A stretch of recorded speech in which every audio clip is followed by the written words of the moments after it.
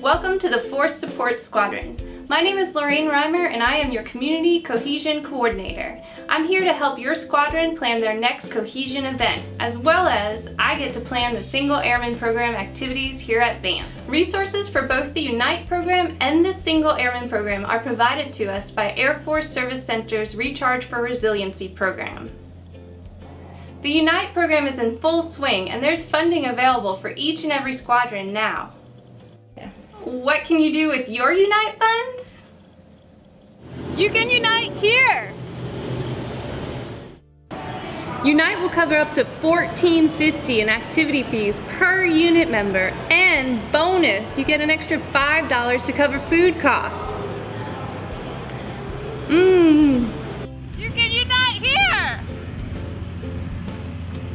Get all the equipment you need for your Unite event here at Outdoor Rec or find out about some other cool places you can unite at. You can unite here. To get started on planning your next Unite event, or if you're just interested in participating in a single airman activity, email, call, or just come stop by.